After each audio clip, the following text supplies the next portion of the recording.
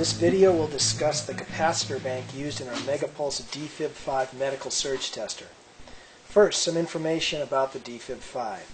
This tester is designed to perform the test explained in IEC 60601-1 Issue 3 Figure 10 and when configured with our option 13, it can also perform the test explained in IEC 60601-1 Issue 3 Figure 11.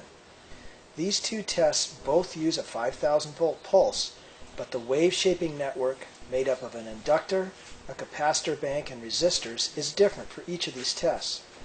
However, both tests use a 32 microfarad capacitor, and this capacitor bank is the heart of the Defib-5. It is also the subject of our video today. The standard Defib-5 uses a bank of 13 electrolytic capacitors to comprise the 32 microfarad capacitor bank.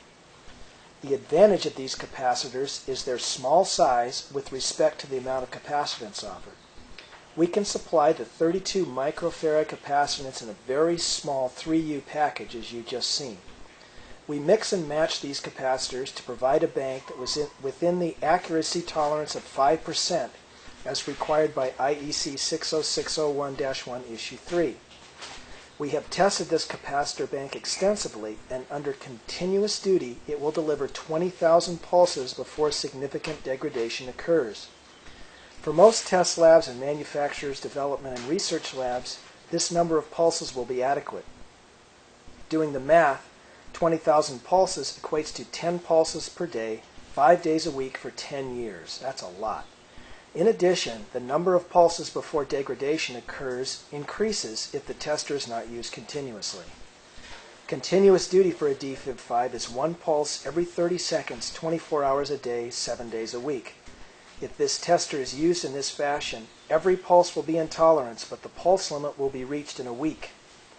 When the time comes, the capacitor bank wear will be evident because the output power will fall below 360 joules. When that happens, it is time to return the Megapulse Defib-5 to us for replacement of the capacitor bank.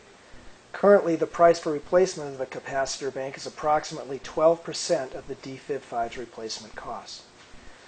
Some customers have requested us to provide a higher number of pulses between capacitor bank replacements.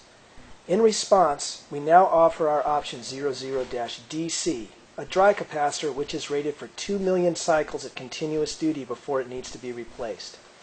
The Defib-5 with this option is packaged in a 6U enclosure as we show now.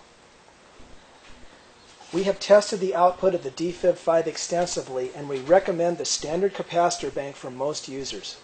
However, if you plan on extensive testing or just want to make sure the Defib-5 outlasts your test needs, specify the DFib5 with the dry capacitor option, option 00-DC. If you have any questions or would like more information about the Defib-5 and option 00DC, visit us at compwest.com or call us at 800 748 6224.